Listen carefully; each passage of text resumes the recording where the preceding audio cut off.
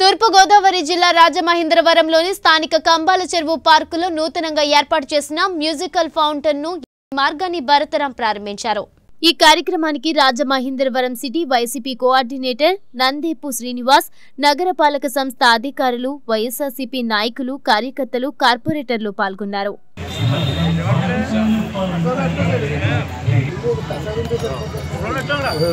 అలాగే అలాగే నేను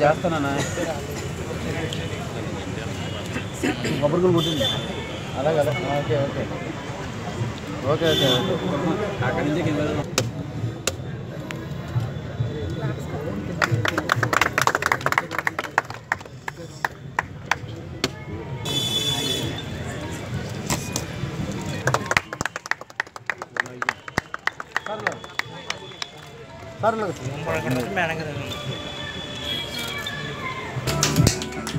ओके सर